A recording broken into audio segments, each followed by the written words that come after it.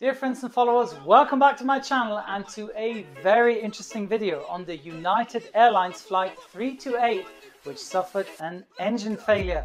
We'll look into how the pilots dealt with the situation, the required checklist they had to complete, what the possible cause could have been for this incident, and a few very interesting side notes.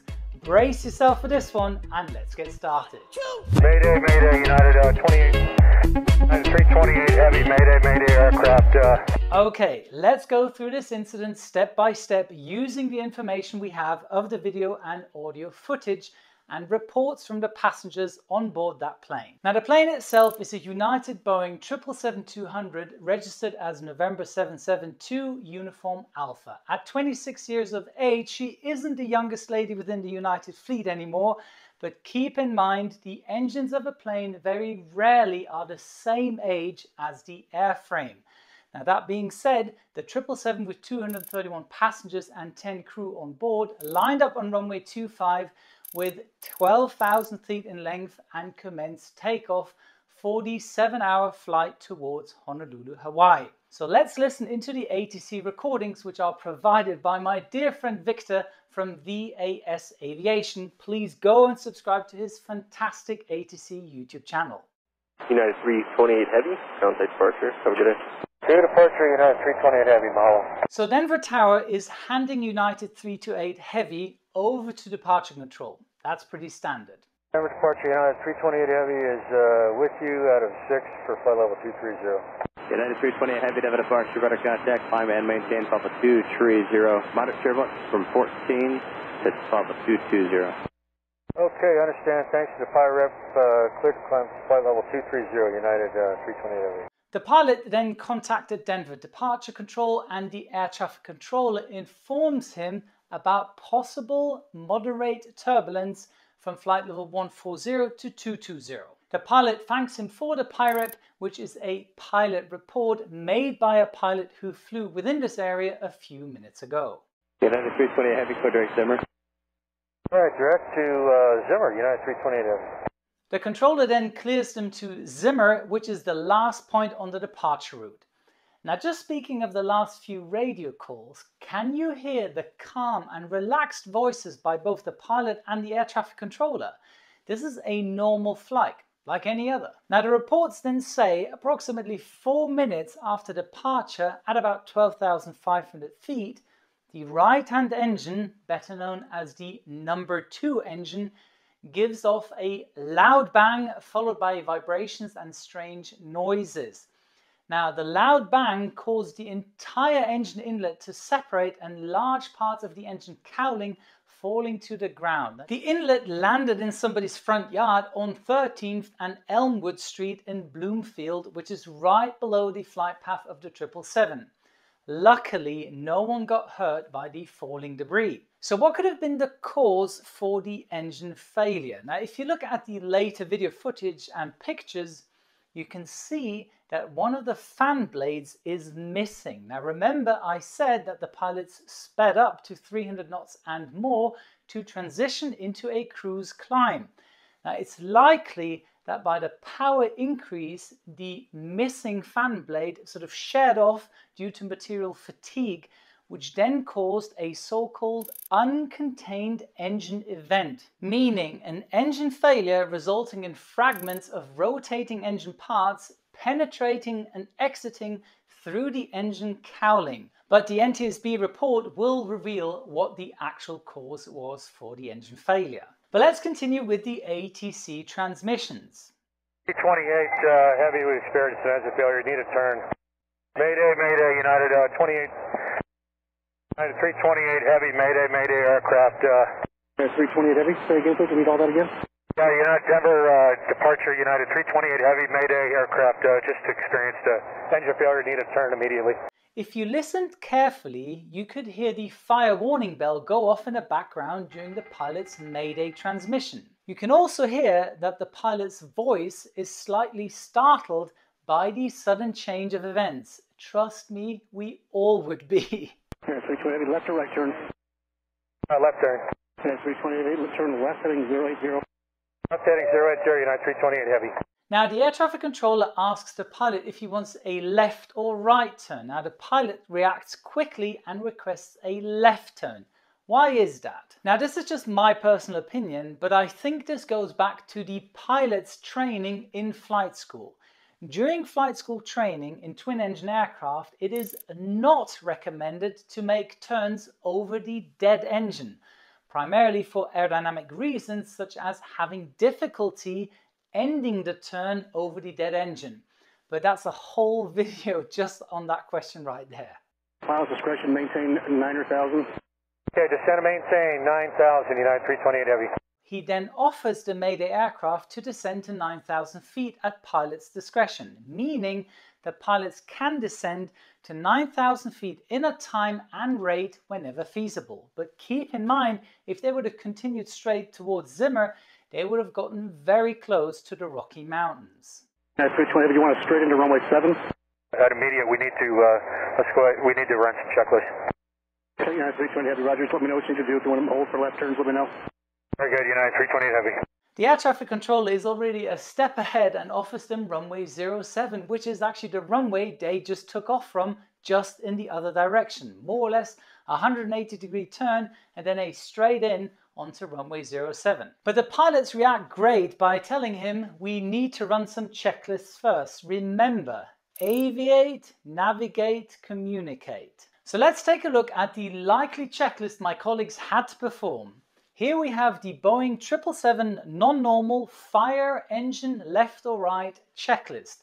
Now I'm sensing that they performed this checklist as you could hear the distinctive fire warning bell go off during the initial Mayday call. So the first five items in this checklist are so-called memory items, meaning they are performed by heart. So the auto throttle arm switch on the affected engine needs to be confirmed and switched to off. You don't want the auto throttle to spool up the damaged engine, do you?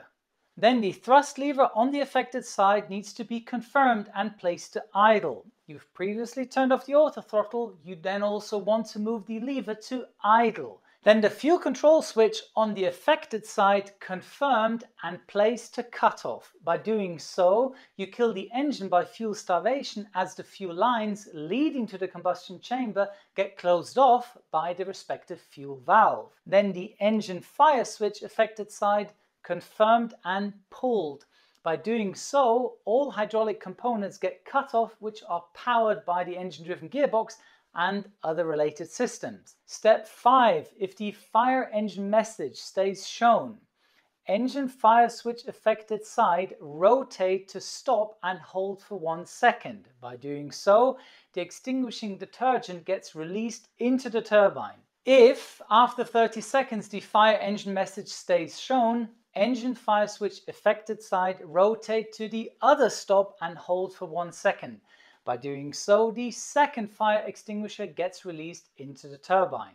Now, once the memory items are completed and no further engine-related indications are shown on the EFIS, the engine is announced as secured. One note I have to add, who performs which action of the checklist can vary from airline to airline. Now looking at the video footage of the engine, it doesn't look secure at all and it still looks as if it's running. Now, in my opinion, and judging by this video, the engine is off, but it's windmilling. Now, the flames coming out at the back were probably caused by leaking fuel lines which got damaged by the shrapnel. Also, look how it's shaking due to the imbalance of the missing fan blade. Okay, let's listen further to the ATC transmissions. 28 Heavy, go ahead. Actually, one able um, fuel and souls on board and intentions. We'd like to return to Denver as soon as possible here, and uh, we'll get you the souls in a minute. The classic fuel and souls on board questions and what further intentions are requested by the pilots. Now the pilot reacts great. Denver is the closest airport with multiple long runways and appropriate emergency vehicles and passenger service, possibly allowing passengers to hop onto the next flight. But the number of souls on board really don't have the pilot's highest priority right now, which he then sort of puts off by saying, we'll get you the souls on board just in a minute. Traffic Roger, could Denver be radar vectors? Do you want to left turn into the airport right now, or do you want delay vectors for uh, uh, anything else you might need? We're going to, yeah, we'll need delay vectors. We need to still run a few checklists and get some landing data. Okay, I'm just going to keep you in that dead heading there, left turns all the way around the uh, aerodrome, and whatever runway you line up for and you want, just let me know and we'll make that happen. 28 heavy. Yet again, the air traffic controller offers them immediate left turn radar vectors for one of the three north facing runways. But the pilot again replies, I'm going to fly the aircraft first, give me some delay vectors to buy me some time. I still have some checklists to complete. But can you also hear how calm his voice suddenly got? Now, once the engine was secured and they got radar vectors keeping them in the vicinity of the airfield, it just takes out so much stress for the pilots, meaning the plane is safe, so Aviate is in control. I'm receiving radar vectors, so Navigate is in control. The only thing left, I need to communicate with ATC, and that's the easiest part. Now, what, what uh, runway you're planning for runway 328 heavy? Yeah, 328 heavy, you can have uh, any runway you like, so just let me know. Um, keeping you wide there if you want to go into the west runways, or I can take you up to the north and take you to the south runways. It's really your call. Closest runway will probably be runway uh, 26. Now, by this point, all the checklists must have been completed and the air traffic controller gives the pilot the opportunity to land on any available runway. Mentioning though that the runway 26 is the closest one from their present position. So everything is back more or less to normal. The cabin crew is informed and the colleagues might even have the time to make a passenger announcement. 328, we can take a tighter turn in here.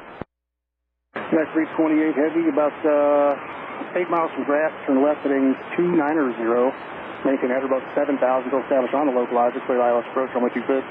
I cleared the ILS 26, United uh, 328 heavy. At this point, the pilot then even lets ATC know that they are able for the final turn onto the ILS. And that call by the pilot actually shows how much capacity they had left. From that point on, it was a walk in the park.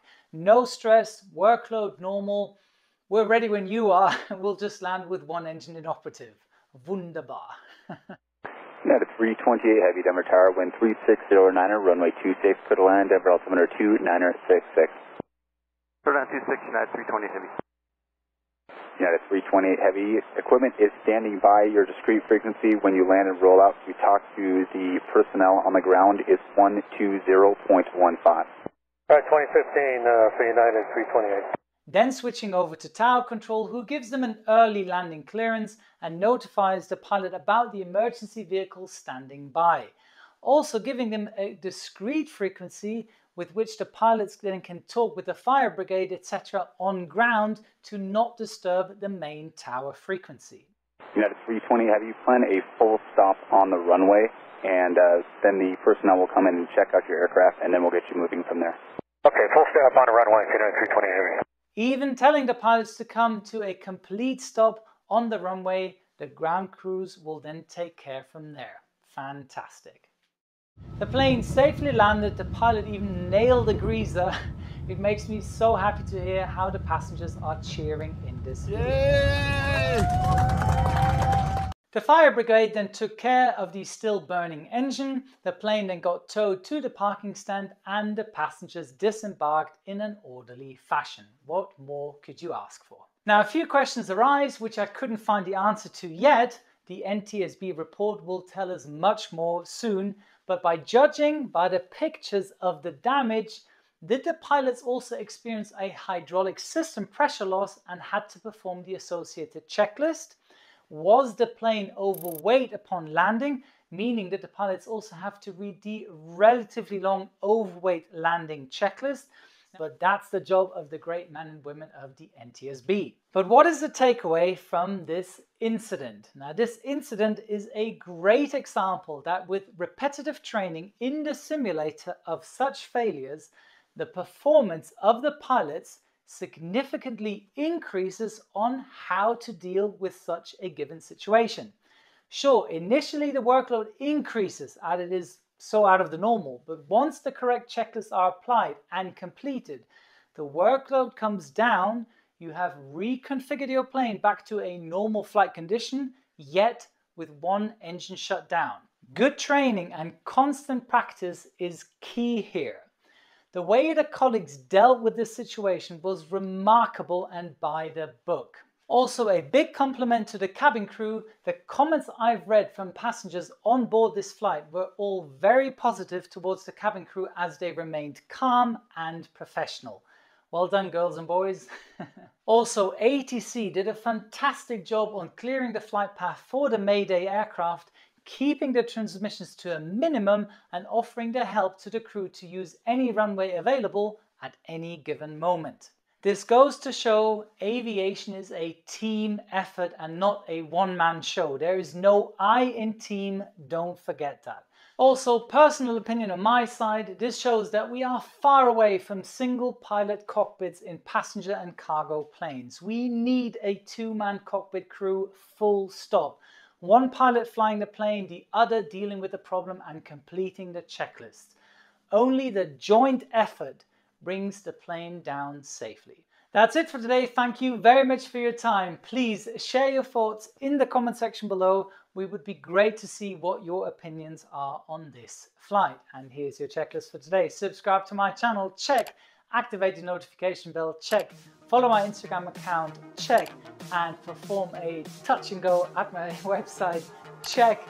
And don't forget, a good pilot is always learning, especially from these positive incidents like this one. Wishing you all the best, your Captain Joe.